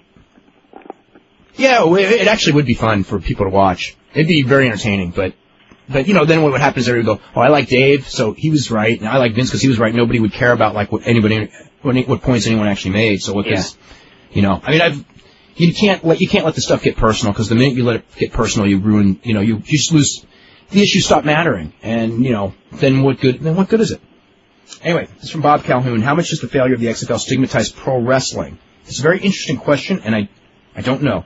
Did the bad perceptions of pro wrestling of the pro wrestling products stemming from the negative XFL press impact WCW in regards to how net, network executives at AOL Time Warner perceive the future of pro wrestling related programming? Is pro wrestling now considered uncool because the XFL is considered so uncool and it's connected to pro wrestling? I think people separated. I hope so. Um, let me see. Uh, do you think Ed Ferrara or any of the other WCW writers will get picked up? Or Oh, maybe Vince Russo. yeah, right. Terry Taylor, maybe. Uh, I think Bill Banks, no. I think uh, Ed Ferrara, no. But I don't know for sure. Um, let's see. Uh, do you think that WCW will try to put on the very best possible show tonight? Uh, I think they should because we've gotten very low quality shows in the past year, and I think they owe it to the fans. Also, do you think that anyone out of the ordinary will show up? I hope so. Last, I have a feeling this will be a show to remember, whether that's negative or positive. Next week is the final show, not not tonight. So, I think that next week will probably be the show to remember. Hopefully. Do you think the that McMahon will let the WF fold if NBC pulls out? Not the WF, you mean XFL, maybe. Um, let's see. Um, isn't it weird? It's like 1988 all over again. In two weeks, the top two companies will be the WWF and the NWA. Uh, you are giving the NWA far too much credit. They don't even have television. I, I mean, I, you know, I mean, they may have affiliates, you know, like uh, in Puerto Rico and, um, you know, uh, all these different places that considers them, you know, like promoters that have paid their $500. They don't even have television yet. Um, do you think that WWF dropping Power Pro might work out for Randy Hales positively in the long run now that WCW's out of business? There'll be a lot of great workers working the independent scene that he could use and rebuild the territory. No, because he doesn't have enough money to do it, and because the one problem with Memphis is that although people will watch wrestling for free, people will not pay to see wrestling unless it's WWF. I mean, Randy, Randy Hales can't really draw. Um, and that's, you know, you know, I mean, running a spot, I mean, when they do spot shows, they draw like 100 people. So, if they brought in stars, probably they would lose money on bringing in the stars. Well, I could be wrong. Maybe they'll, they'll, they'll maybe they'll give it a try. Uh, let's see. When WCW goes out of business, uh, won't have a devastating effect on magazines such as PWI. Oh, it's gonna, it's gonna affect everyone. Don't, don't, uh, yourself. Uh, let's see. Uh, let's see. It's so sad because the Federation with so much history can be destroyed because of a dumbass like Vince Russo. It, again, it was not just Vince Russo, and he may not be, um, you know, whatever. May, he may not even be the number one reason. Although, he is one of the biggest reasons. There's no question of that either. Jamie Kellner says wrestling's not upscale enough. I wonder if they'll continue to guys who like movies and movie lounge. Those are really upscale things. Hey, look, we can argue that one all the time, but it doesn't, Doesn't matter, matter. because he's made his decision, and, and he didn't like wrestling 20 years ago, and he was the guy put in charge. Uh, let's see. Here we go. Here we go. Um, claiming WB Network chief Jamie Kellner had insulted his show, creator Joss Whedon says he's ready to move Buffy the Vampire Slayer to a different network. It makes me angry to see the show belittled, Whedon told the Daily News. For Jamie Kellner to call it a team show and dismiss his own product angers me. It doesn't breed love. Tension erupted earlier this year when Whedon and Buffy producers at 20th Century Fox asked WB to pay 2 million per episode, doubling the current cost. WB execs said they would go up to 1.6 million, but no higher, claiming that's all they could pay without losing money on the show. The resulting impasse said producers hunting out for other homes for Buffy and star Sarah Mi- Michelle Gellar, including Fox, a corporate sibling of 20th Century. So um, that's, I guess, what the deal is. Um, it's uh, let's Basically, on, on a part of that, Dave, basically, Sarah Michelle Gellar is saying she won't go to any network but the WB to do the show. So she's basically saying either it stays on the WB or she's leaving. So she leaves, the show is gone. Wow. But Kellner says it's not our number one show. It's not a show like ER that stands above the pack. Uh, let's see. During its five years, Buffy's earned earned a loyal fan base, appealing mainly to viewers in their 20s. Whedon said it also And spawns. 30s, I'm a big fan of the show too. Yeah. Uh, WB spokesman Brad Turell defended Kellner's comments, saying they weren't meant as insults. We have tremendous respect for Joss Whedon, Sarah Michelle Gellar, and everyone associated with the show. They've delivered a consistently excellent program for five years. So, The, the problem, the problem though with the WB though is, uh, if I'm not mistaken, I believe they own the rights to Angel, which follows directly after Buffy's show, and it's uh, the character that was introduced on Buffy the Vampire Slayer. So if they lose Buffy, they're losing their lead-in to their to their nine o'clock show. Because both, I, I, if I'm not mistaken, I believe the WB owns Angel, but they don't own Buffy. Fox owns owns Buffy. So it's it's you know, to me, it sounds like it's in the WB's best interest to keep it if they can. Because then you've got then you've got Buffy, and then you have their other Fox's other big show on Tuesday night at nine o'clock is Dark Angel, with uh, Jessica Alba. So if you have the two of them on Fox, it's going to crush whatever WB is, uh, you know, playing on a Tuesday night if they lose Buffy. Okay. This is stuff that I don't know because I never get to watch television on Tuesday nights. or television at all, unfortunately. While Vince has a tremendous ego and hates to fail, I think he's proven he's more of a businessman and bottom line guy. He's all about money and power. Losing millions doesn't set well with him. Well, we will find out about that one uh, if they renew the XFL or if they change it up. Compl- well, if, I'll tell you what, if they do redo it next year, it will be totally changed. I mean, I, I'm sure of that. Uh, how is this WCW closing story any larger than Vince McMahon's stero- steroid trial? I think it's much larger, don't you? Well, something's actually happening here. I mean, Yeah. if Vince had been uh, sent to prison, and uh, someone else had to take over or something like that, it'd still be it would be have been bigger. But it's not like the WWF died and it left just one organization. Yeah. I mean, there's one company left in the U.S. that's going to be, uh, you know, running everything. Yeah, most likely, barring something unforeseen, uh, which I guess we'll find out about tonight. Uh, what are the odds of Fox giving WCW a slot on one of their channels? Um, may, again, that will be something that we will know tomorrow, probably. I mean, um, this is someone who goes, I am probably the only person who feels this way, but it has to be said. The guy who every wrestling fan calls a genius is a fool. That's right, Vince McMahon is a fool. Okay, let's see how, where this goes. While adolescent boys and starry-eyed middle-aged perverts brand him a god, I can remember with one quiet voice speaking to the entire industry about the dangers of doing trash television. That was Eric Bischoff. While his exact words escaped me, he alluded to the fact that wrestling was in trouble because advertisers would steer clear of the product if the trend continued. Uh, he did say that. He said that if we present this trashy image, we're not going to get advertisers. Um, that a lot of the advertisers are going to pull out, and there are only so many advertisers who will even do wrestling to begin with. And one of the excuses for this thing being canceled, even though the ratings are still competitive, is that they can't get advertisers that will spend the money on wrestling as compared to other shows that do lower ratings. And there is truth, but that's always been the case. That's not just because Vince McMahon went this way in the last three or four years. Wrestling's always had that image, even you know in the 70s. Okay, rather than heed the warnings, Vince McMahon, consumed with a passion to win the war, cut off his nose to spite his face. TBS and TNT proved that when they released a statement about not wanting wrestling on their station because it wasn't in line with their upscale programming, um, Vince McMahon has turned wrestling's image to mud. You know, I can't blame Vince for that one because it, because that that stuff was going to happen whether Vince did it or not. Uh, okay. Um, did you say it's a done deal with Vince buying WCW or just a chance it could happen? It's most likely going to happen unless something has changed greatly in, in the last day. It isn't. It has not happened yet. Uh, let me go back to some of the calls. Let's go Terry in North Carolina. Terry, what's up? Hello, how you doing, Dave? I'm doing all right.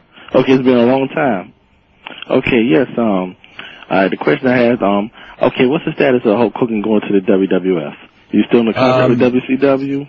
His contract with WCW is over, and it's up to WWF. Um, if they want to take him, they can take him. Uh, he'll go. I'm sure. You know, I mean, I'm, and, and, you know, maybe, you know, it depends on what his terms are. I'm sure he's not going to go without, you know, he's not going to give up his ego and just job for everybody if that's what they want. But, you know, if, um, if they can work out a deal, yeah, he can go. Anyone can go now. Pretty much, WCW's going to, you know, I mean, well, again, I shouldn't say anything yet, but, you know, I mean, you know, Vince can get almost anyone he wants. Yeah, didn't you say something about that if, um, they buy WC, um, W, um, the contract gonna be separate from, um, the business itself? What do you mean? As far as like, um, if they buy WCW, that doesn't include the contracts in there, or will it include the contracts? It all depends. Um, that is something that still needs to be fully negotiated. Vince is not going to pay, and he doesn't have to, the contracts of these guys because it, um, it upsets his salary structure. So, so he will not do that.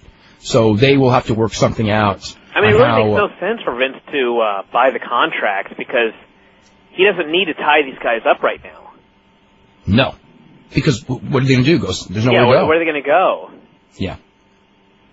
Yeah, I'm gonna tell you who I think McMahon can make out a star, Big Papa Pump. Uh, if he wants to, he can make anyone a star. But yeah, you're right. He could if he wanted to. I don't know that he would want to. He's got. You got to remember about Scott Steiner. He's got a real bad back. We were just talking about it earlier in the show. And the WWF schedule is 200 days a year, not one show a week. And Scott Steiner is almost 39 years old. So and he's got uh, plenty of money. and he's got plenty of money. So I mean, the whole thing is going to be. I mean, if this guy, I mean, it's not like Scott Steiner needs to wrestle right now. I mean, they're going to tell him, look, if you want to be on top, we're going to need you on these house shows. You're going to have to do four days a week, you know, pay-per-views and TV. And if he can't do it, he won't. physically, the thing is, it's physically, I don't know that he'll be able to last on that kind of a schedule. And in the WWF, the other thing is, you have to work. They don't want lazy guys out there. You know, mm-hmm. I mean, they, and they and they don't have to have lazy guys. They can get anyone they want in this business. They only got however many spots, 40, 50, 60 spots, whatever it's going to be, probably closer to 40 on the active roster that are going on the road. They don't need to be spending big money for someone who's lazy because there's so many hungry guys out there that aren't lazy that they could put in that same spot. And, and, and you know, so, so, eh, you know, long-term Scott Steiner, um, I, I think that they'll give him a chance if he wants to go, but, uh, he may not do as well as people think because of that, because physically he can. It's nothing against him. Yeah. Okay, yeah. Why you say Russo? Um, McMahon will probably pick up Russo. I would. You never say never, but I would say Never. That one's. You, you probably, probably never. Yeah. Yeah, because um, it felt like um, he did a lot of like Russo did a good job when he was there, even though McMahon did nick him.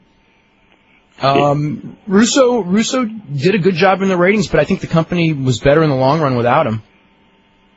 Um, I think that as far as you know, what, what Russo did, he'd gone as far as he could go, and it was going to burn out anyway. And it was good that they got back to um, a better product um, without him. I think that that gave him more legs for the long run, even though you know the ratings are not what they were. But it's a different business now than it was that you know two years ago as well. Okay, yeah, and I agree with y'all too. Getting rid of Buff Bagwell and Lex Luger. I did pretty much like that squash last night. Well, They should have thought about that a long time ago. It was their best match ever. no, it wasn't though, because they didn't, they didn't, they didn't do their purpose. You know, they didn't get those guys over again, even though they put them over. They put them over in a way to not get them over. Same thing. Oh, so a squash match doesn't necessarily put the wrestlers over. Well, depends on how it's It, set. it would, it would have, except the way. I mean, I think for television, it probably put them over a little bit, but in the building, I know it didn't because those guys were just doing that clown act afterwards, and by the time it was over, nobody took anything seriously.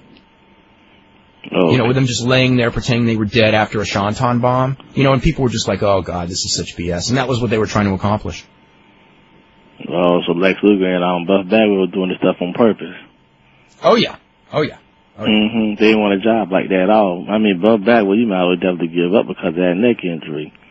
I just That neck go. injury, that neck injury, he was just spoofing that, so you know.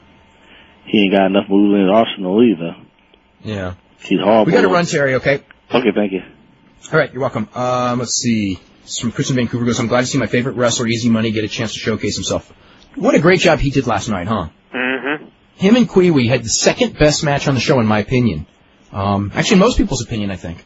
Um, they, they, you know, boy, what a what a great. Those first two matches on that show were were so good, and then afterwards it wasn't quite as good. And I, you know, DDP and Steiner was good. Chavo and Helms was good as well. I have a funny story about uh, young Jason Jett. Apparently, he had this uh, orange costume Oh, I heard this. that he was going to wear to the ring that actually had wings on it, like jet wings. It extended like a foot out on each side, and it was supposed to be like the most ridiculous costume you ever saw. And I can't remember who it was. I think it was Rick Steiner. Just kept telling him, "Dude, that looks awesome. Just wear it out there. Come on, dude, that looks great." And um, apparently, someone uh, someone talked him out of it. Luckily, but I guess it was just one of the most embarrassing things you had ever seen.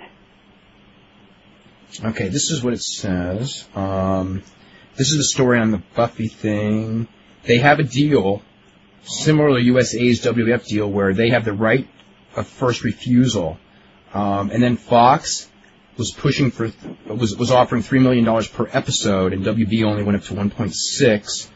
Um, their total advertising revenue on the show is not enough to make the price, which was probably a deliberate move on Fox's part. So I guess that's the deal. I guess basically they're losing Buffy the Vampire Slayer uh, because of um, their, you know, its contract is up and they're not willing to. They can't. Other other networks are outbidding them for the show. So that's what that's all about. Um, let's see. Any update on WrestleMania as it pertains to the Hardy Boys and Triple H? Uh, I think that the whole card should be pretty obvious by tonight. I'm, I was assuming the Hardys were in some sort of a tables, ladders, and chairs with Christian Edge and the Dudleys. That's what was talked about a week ago. Triple H will either be in a single match with Undertaker or they may make it a tag, uh, which would be Kane and Undertaker against Triple H and Big Show. Um, so anyway, that's what's going on there. You're laughing.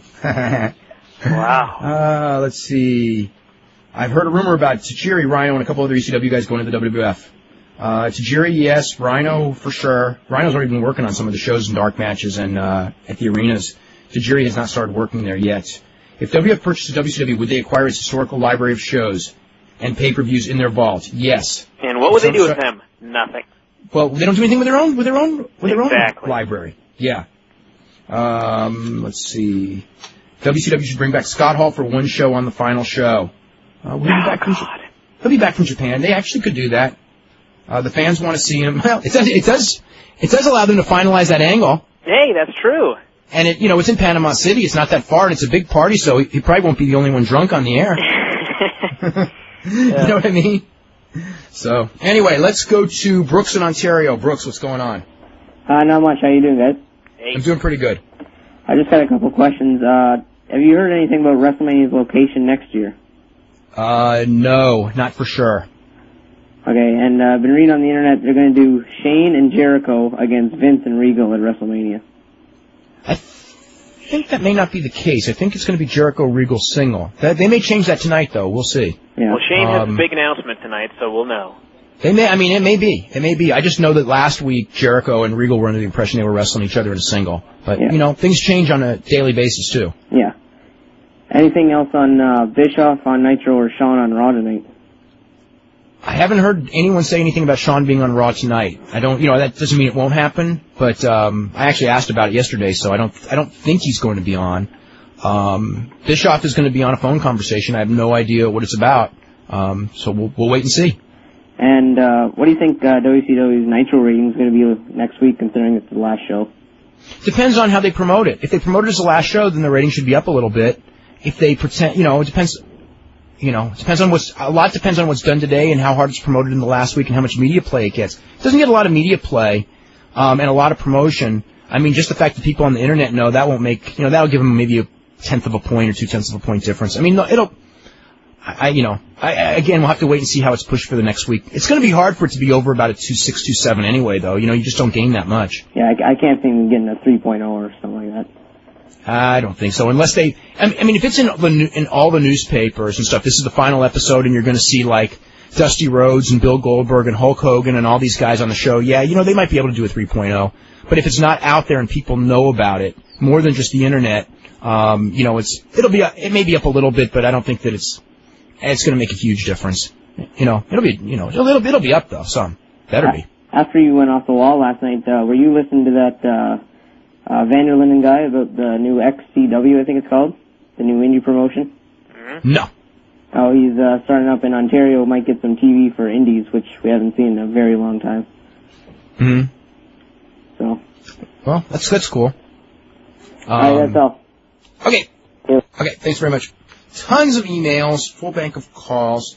So many emails. This is like unbelievable. If we don't get to yours, I really apologize. Anyway, this is a good one. Vince should hire Lex and make him wear yellow polka dots. Okay. Anything on the new on the news of Jerry Jarrett and the announcement that Joe Pedicino made? Yeah, Joe Pedicino on his radio show yesterday, they had Bert Prentice on, who's oh, anyway, Bert Prentice was on and said that Jerry Jarrett would have an announcement. Jerry Jarrett uh, put together a proposal.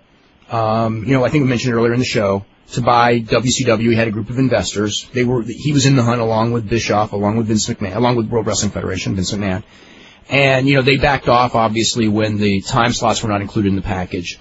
And they, you know, there is talk they may do something. Bert Prentice said that Jarrett would have an announcement. I know someone very close to Jerry Jarrett uh, was saying yesterday that it's don't you know it's not as big a news story as it sounds. So uh, you know it's more like something that's being thought about as far as like a guarantee that all of a sudden you know he's opening a big national promotion, has got a big contract.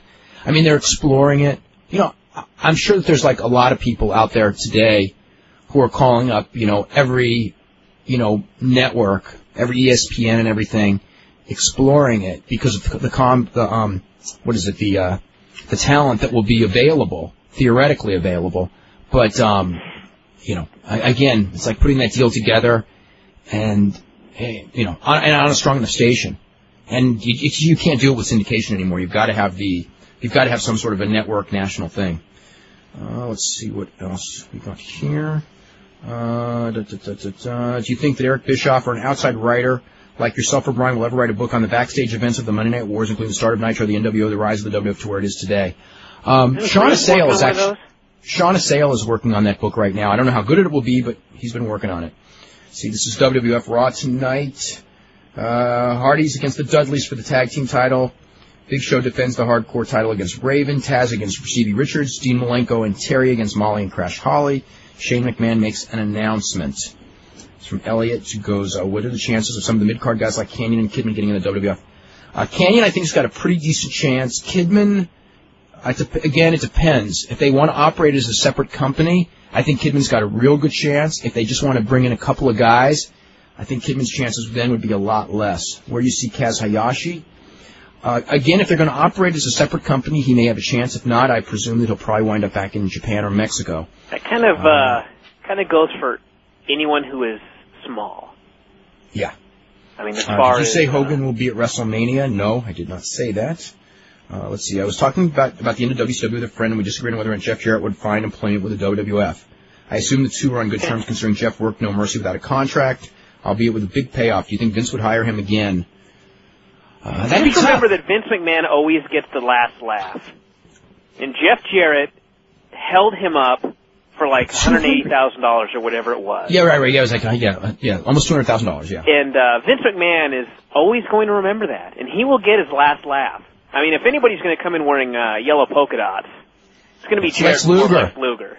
It's Lex Luger. He walked out. He walked out on the show with no notice. Remember that? Showed up on Nitro. I just don't. Well, that's what I'm saying. I don't think they're going to take Luger back at all. But uh, they may take Jarrett, but they'll humiliate him. Oh, if they take Jarrett though, boy, he's going to be paying a price. Yeah.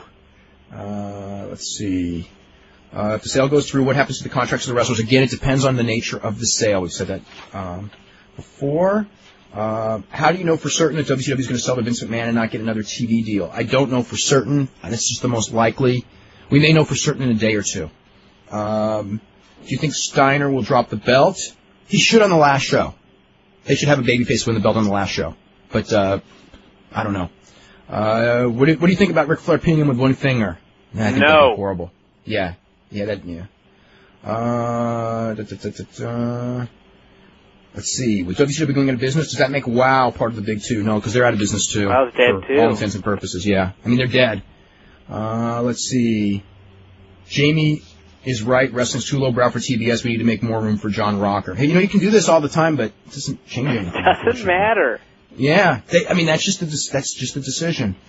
Uh, let's see. Did you read Figure Four this week? You know, I didn't get it yet. It goes, um, he goes, I almost died laughing. I usually almost die laughing when I read it too. Um, Bert Prentice and Joe Pedicino swore up and down that Jerry You didn't get the has a ton of newsletter yet this week? I didn't get it yet. No. What is going on? You know, I wrote this uh, this big rant about uh, the postal service and how uh, I was doing this new deal that hopefully would get them delivered faster, and uh, just got some letters from people in New York going. I'm getting them sometimes on on Friday. I got mine today. Well, so much for that uh, theory. I just shot your theory down. Sorry. but no, I was uh, I was I was really mad on Saturday when I didn't get it. that's weird. Yeah. Uh, let's see. Uh, Kid Cash will be working for Thunder tonight against Jason Jett. He will be called Cash. The match, if it lives up to the independent bouts the two have had, should be a great one. Yeah, probably Cash or K Cash? um, oh, let's see what we have here. Uh, let's see. I would also like to say I didn't think Bob Costas came off unprepared, but I didn't think Vince came off bad. Of course, there were a couple of uneasy parts, but I thought Vince made some good points. My question is, do you think this will affect the ratings in any way? Well, I guess we saw Saturday. Uh, the ratings of the XFL were down six tenths. It appears to be six tenths of a point. Uh, next year, Vince can start the season of the XFL by saying last year was just a dream. Uh, is it me or is it Kurt Angle's moonsault amazing? Uh, amazing. Yes. Yes, it absolutely is. Uh, let's go to uh, John in Florida. John, what's going on? Dave, how you doing? I'm doing fine. Hey, listen, is it true that Eric is going to call live on Nitro tonight? Yes. And do you think he's going to make the announcement that Fox and um, Fusient got it? I can't imagine, but it's possible. Anything's possible. It take. It's hard for me to believe they could have put that thing together in one day. I mean, Yeah, but didn't Rupert Murdoch always wanted a wrestling company? at different times they have wanted one, yes, but at other times they haven't. I mean, It just there's so, so- many people and so much complication. It's just you, you know, it's like his Ted Turner always wanted a wrestling company, yes, but they don't got one anymore. Let me ask you this. What makes everybody so certain this is real? How do you know it's not one of Eric's genius plans? What makes Uh, be- this so sure? Oh, okay, I got a, I got a question. Why would Jamie Kellner, the head of programming at TBS, TNT, and WB, where wrestling is not even a major part of their programming, in his very first public act, do a work that's in the New York Times and, and places like that? but think He will about lose this. his credibility so much if this is a work for wrestling. Do you think he's going to do lose his credibility for pro wrestling That he Dave. even like. that he hates? Come on. Think Come about on, this. It was I mean, I know last York- night some of the wrestlers were, were doing the same thing and just going like, "Oh, you know Eric, you know Eric," and it's like, "Yeah, I know Eric. Eric, Eric loves to do those kind of works, but he ain't getting Jamie Kellner to do his his wrestling angle. Sorry, there's no there is no way. Now How- he, he may have put a deal together with Fox today. He may not have, but Jamie Kellner did not cancel that programming as a work. How, how, um, what are they going to say now here? Damn, I forgot. Oh, how are they going to announce that next week it's the last show? If it is the last show, are they going to Uh, say we'll something find tonight? we'll find out tonight. I don't know how they're going to handle it. I was shocked. Yeah, I, I don't know. They, they certainly. You know what I thought was really sad was watching that pay per view last night, and them not even acknowledging that anything. Yeah. You know what I mean? I just thought that something should have been said at least It in was some kind of way. eerie to me. Now let me ask you really- this: What Yes. happens if Schiavone says, "Well, next week will be the last show"? Then all of a sudden Eric calls in. Is it going to make you suspicious? And why are they doing all these angles now? Who's hitting these guys backstage? Medeja, Animal. Why are they doing storylines? It'll all lead to next week. Yeah. Hopefully, it'll all be explained in the last show. Oh. And what about the rumors that Hogan's going to fight Triple H? That Wade Keller said. Uh, not happening at this WrestleMania. All right, thanks, Dave. All right. Bye bye. Uh, this is from Sean who goes, I get really sick of WCW blame all going on Russo. He took over the show from Kevin Sullivan and the good old boys. And the I ratings went up. stuff. And The TV show was, was driven better. into the ground during that time. We can still argue the belt on Arquette was hell, but that stuff was still better than Sullivan and when Nash, Sullivan and Nash had the book. It was all bad, okay? But Russo, the difference between Russo and Sullivan, Nash was real bad, okay? With Sullivan, Sullivan was real bad too, but Russo destroyed the fabric of the company, which Nash and Sullivan did not do. It was salvageable after Nash. Um, very sal- sal- salvageable. I really believe that a good wrestling person would have turned it around after Nash. That was where Russo came in and hurt it real bad. Didn't kill it, hurt it real bad. Sullivan came in, and Sullivan, I will grant you, did a very bad job. It was really boring television when Sullivan was running it. And then Russo came in and stuck the, the dagger right in the heart of the company at that point.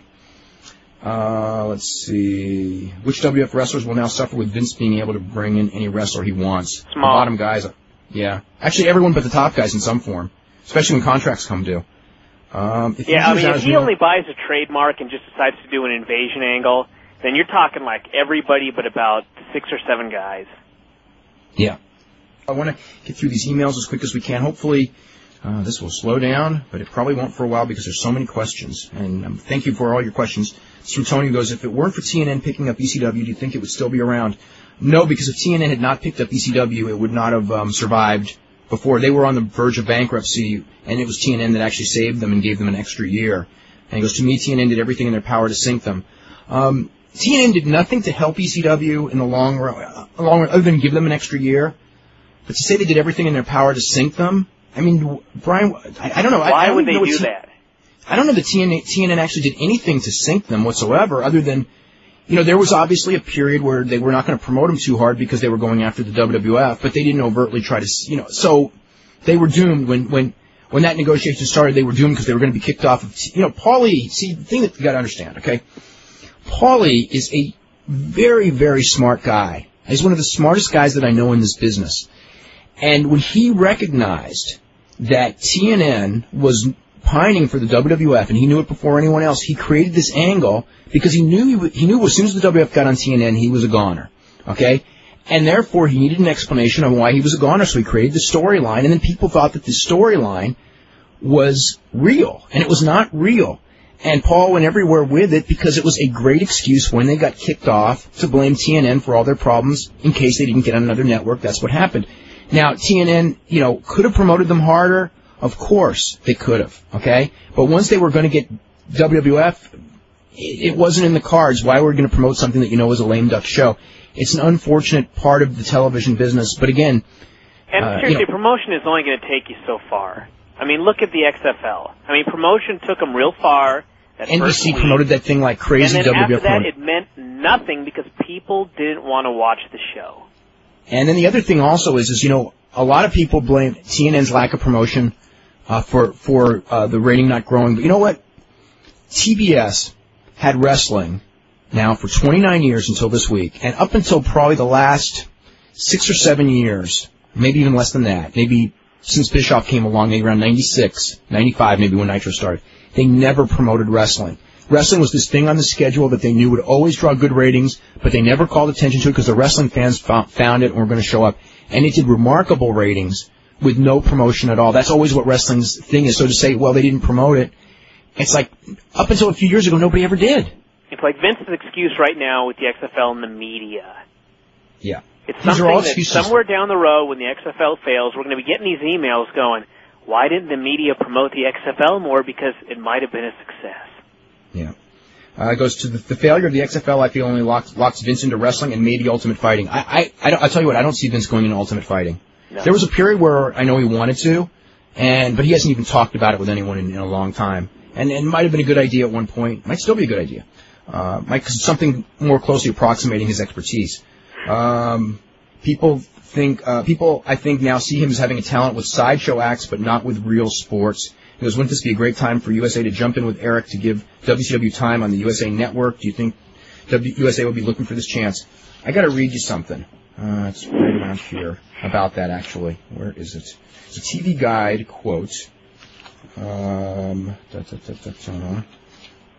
da. This is a TV qu- guide quote by Barry Diller, the head of USA Network, about wrestling fans. Quote, that audience of 12 to 19 year old pimply faced, mean spirited males came, watched, and went on to whatever god awful other pursuits after the show was over. Okay, what does that say about the WCW chances of getting on that network? Uh, I tell you what, what well, has happened. right. They did go after the show was gone. That's right. You know what has sure. happened?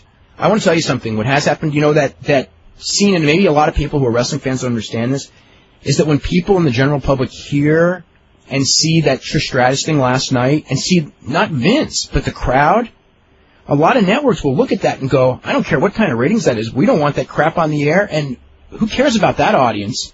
I mean, that's, that's really what happens, and that's, we are all paying for that right now, because nobody want, you know, I don't say nobody because somebody may touch it, but the top guys like USA Network that made money on wrestling for years and years and years, they won't touch this thing. Turner, who made money on wrestling for years and years and years, they don't, you know, it's not a ratings thing why this thing's getting dropped. It's because people see that audience when they watch on TV and their behavior and think that they're what they are. They they, come up, get a perception of what they are. It may be unfair, but that's what's killing. That's what's killed wrestling this week. Is that perception? It's not the ratings. The ratings aren't that bad that would have killed it. It's the perception of what wrestling fans are. It's probably really unfair, but unfortunately, the you know the behavior of a lot of them. God, it's just so sad because it's again it's the minority, probably like that. Um, let's go to uh, PJ in Phoenix. PJ, what's going on? What's going on, Dave? I got a question and a comment. Okay. Um, is it true that Scott Hall will be wrestling John Tenta in his wrestling promotion down in Florida? I believe so. I believe he's wrestling for John Tenta. I'm not sure if it's against John Tenta I think or it's not. John Tent in the main event with the uh, wrestling school on the line. Is versus Scott Hall? Oh, really? Okay. Well, then, then for sure. And is it true that the Outsiders might re- reunite uh, at that uh, pro, uh, promotion down in Florida? They're saying Nash will be there, so That's possible then. Really? And when did Hogan's contract uh, run out with WCW? I think it was last week. Actually, not even last week. I shouldn't say that. I think it was like two or three days ago. I thought it was year 2002. No, I think it was March 15th, 2001 was the Really? date I had heard. All right, thanks. And WCW sucks. Yeah. you don't have to say it after next Monday. This is from John Molinaro, who goes, I interviewed the Hardys on Saturday uh, at the off-the-record taping. They said they were going to be doing a tables, ladders, and chairs match at WrestleMania with the Dudleys and Edge and Christian. So, and then Angle said he would like to face Benoit. Well, I think we've mentioned, actually we haven't mentioned it. Angle is going to face Benoit. I think that one's a given now. Uh, oh man, I got to say something by the way. Uh, they sent me the uh, Kurt Angle is True video, and I watched the whole thing. And um, Kurt Angle is so awesome. I mean, they had so much footage from the e, from just like the very beginning. I mean, his first match, his debut, the promos that he cut back then. I mean, obviously not as good as they are now, but I mean, from day one, I can't see how anybody could have seen this guy and not gone. This guy's going to be huge. He Really? is so great. Wow. The one thing about the video though was, and he talked about this in his uh, his press conference or conference call or whatever he goes. I thought it would be fun because normally when they do these videos, they talk to the people out of character. He goes, I thought it would be fun to be in character during this entire video, so he doesn't break character or anything like that. And I think that for like 95% of WWF wrestlers, it would be so annoying, but he is so funny and he's such a good actor that it's actually entertaining. So, there you go. See, will a lot of questions on like will WCW bring guys back? Again, I don't know of anyone. It says Juventud Guerrera. I would think that that's not even in their thought process. No. Bret Hart has retired. Hulk Hogan, I don't know. He goes, they should do a Four Horsemen reunion. That's not going to happen either. Uh, is it possible that Eric Bischoff might try to convince New Japan to buy? The problem again, it's not, it's not the the idea he can't get the money. It's like if New Japan buys and they have no TV, what, what's the point of that? Yeah, what do they have? You, you got, I mean, I mean, and if he can get the TV, I'm not saying he can't, but he's got to do it like in a day. I mean, or or in two or three days, and it's just, it's going to be tough. I mean, maybe he'll go on TV tonight and say, "Oh, I got the TV," but um, if he did, you know, it's that'd be uh, be quite a coup if he did. I'll put it that way. Let's go to Steve in New York. Steve, what's going on? Hi, how you doing? Hey. I'm doing really good. Um, I just wanted to address the fact that um, I think that Angle's the push that he's getting now is um, going to be bad for his career in the long run. Because it Why seems to me that he's getting um, Ken Shamrock's gimmick and push, and that didn't work for him very well. And um, Ken Shamrock, though. He's he's he's a lot better than Ken Shamrock though. Oh no, he's a lot better than Ken Shamrock. It's just that the reason I think that um Ken didn't get over was because they never let him beat anyone big or snap anyone's leg with his ankle lock, and we haven't seen Angle um do that with the ankle lock, and I don't really see any of those top guys uh letting him do that. And when you have a submission as your finisher, um if And someone guys don't doesn't lay down for it and sell it really well, um then it's not going to get over, and subsequently you're not going to get over. Uh, if the top guys at some point, the one, I mean, they, they did have, you know, the, one of the things to try to get that thing over last week is they had Rock tap for it, even though it was in the ropes.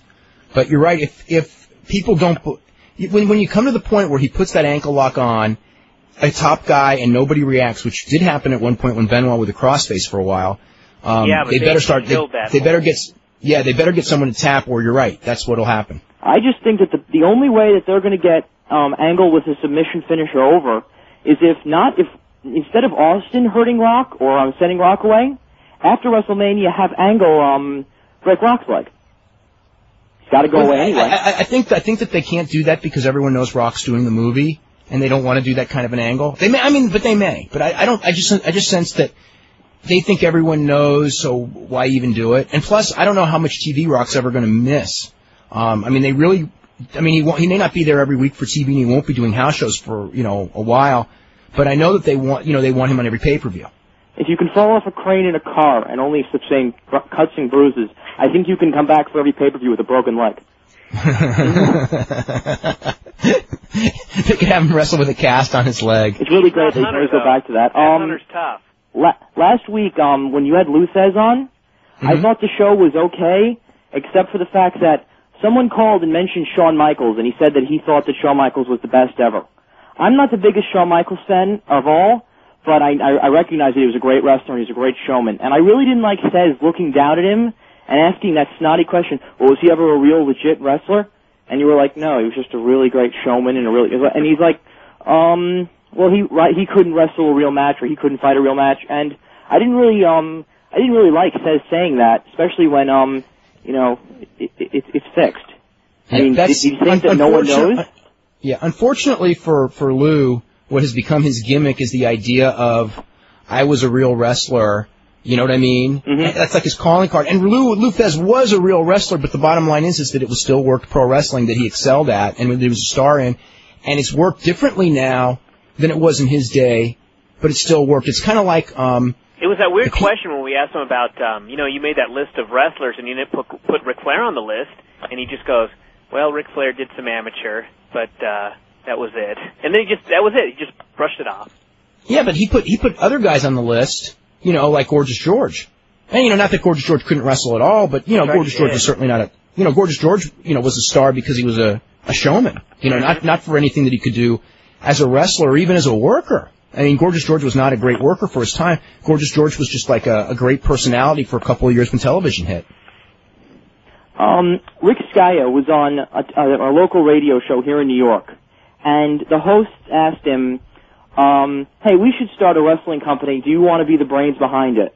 Now, going back two years after Kevin Nash um, turned uh, WCW from the number one company to the number two company with a few problems but still salvageable. They hire you and Brian, Wade Keller, Scott Keith, Jeff Marek, Rick Scaia, and the rest of and the rest of the journalists for um, wrestling. What would you guys do? Kill each other. um, I, I wrote an article in September '99, um, very detailed on what I would do, um, and it's just mainly the logical stuff. Basically, rebuild rebuild the belt as your prime cornerstone. Um, separate the junior heavyweights from the heavyweights. Um, you know, you know, build it around. I, I don't, you know, I don't even remember all the stuff because it was it was 18, you know, 18 months ago. It seems like years ago. But basically, put some credibility back into the belts as the key building block, and then every top guy that that was there then has to pick a guy. Okay, that was there then would have to pick a guy, and it's like this is the guy who I am going to make a star. If you do not agree to do that and you do not make him a star, you're fired. That's it. Sort because like no, what- nobody over 40. We are building for the future of this company. Nobody over 40 is the future. Not Ric Flair, is even though he was the biggest ratings draw at the time. Not Kevin Nash. Not Sting. If you and I would go at the very first meeting to those guys. If you do not want to build somebody and recognize that your role in this company now is to build for the future, and you do not want to do that, please go home and, and don't ruin my life. And if you want to come here and build somebody like like Wahoo McDaniel did for Ric Flair, then um, you are so welcome, and we will love you. And, and in the and in the end, you know, you're going to keep yourself a star if you have a great program with another guy, but you have to elevate him. If you're if you're keeping yourself over, and not elevating him, I don't want you around. And then I would find young guys uh, that were, and they had them. You know, they had the young guys. They still had Benoit. They still had Jericho as, Yeah. as two examples. And those would be the kind of guys that I would go with and mix them with the top guys and hope that, you know, like Ric Flair obviously can stay over by, by losing. And hopefully these other guys would learn how to do that and, uh, see what would happen from there. You know, it's just, you still had Bret Hart. You still had Goldberg as a phenomenon. There was a lot of tools that were still there. I have no doubt that that thing in late 99 could have been turned around to where it would have been a profitable company. I'm not saying beat Vince McMahon, but it would have been a profitable company. And what they did, um, what Russo did was largely the opposite. And, um, you know, and then, and then that was the, that was the end result. I I always said, I always believed that. I believe Kevin Nash was just as big a, um, just a bit as big a, um, a detriment to the company as Vince Russo was. And listen to me out for a second. Just because when Vince Russo came, it was sagging. When Kevin Nash came, it was soaring. Kevin Nash took something that was going up and made it come down. Vince Russo took Not, something not that up. It was was going starting to struggle. and made it go down It- lower. Okay, it was starting to struggle under Nash, but Nash, you know what? It went. Nash did more damage, um, in in a sense, as far as killing the momentum of it, absolutely, than Russo did. Russo took a product, but when Russo came in, mm-hmm. people were ready for this thing to turn around. You could tell the momentum in the audience, everything. When Russo came in the first time, it was like, okay, we had we had some bad time, now we're ready to turn around. And then when he didn't, that really hurt. But but Nash, Nash did do tremendous damage. I think that Russo's first reign did damage, and even then it was still salvageable. Russo's second reign was what gutted it. That's that's my opinion. I like Because I that, like 'cause that was just first reign. that was I just just felt that everyone got injured as soon as he started to push them. What with Russo? Yeah, Uh, he had Russo- really bad luck that first reign. Then he went crazy a second one. Well, the um the one who had the bad luck with the injuries, and it wasn't even all real injuries because guys just did it with Sullivan because so many of the guys they made a terrible decision going with Sullivan because the guys wanted him to fail and they were all working for him to fail and the guys were faking injuries to, so so he wouldn't book them. And then Sullivan had nothing to work with. The guys weren't faking injuries under Russo. A lot of the, the guys were for Russo. I mean, Russo did have his bad luck with the injuries, but also um, with with Russo, some of the injuries were based on on the idea that he didn't really understand what wrestlers could and couldn't do, like the Jarrett thing, taking the splash off the cage from Jimmy Snuka. I mean, that injury was something that shouldn't have been done. Goldberg, you know, granted that was partially his fault too. But you, I mean, wh- what was the purpose of that bashing in the limo anyway? Exactly. Million dollar talent, you know, you're and you're ba- you're having him punch out a limo. I mean, even if he used a pipe, he could have cut himself up. And granted, I know Undertaker just did it, but why why do it? That's stupid. Yep. All right, that's all I got. You you two uh, be good and uh, stay well. Okay. Uh, that is pretty much it, and I want to I want to thank everyone for calling in and uh, writing in. Uh, I'm sorry we didn't get to everyone. Um, huge response today. Uh, tonight we will see on Nitro exactly what is happening and uh, talk about Raw. We'll be here tomorrow at five to sort all of this out.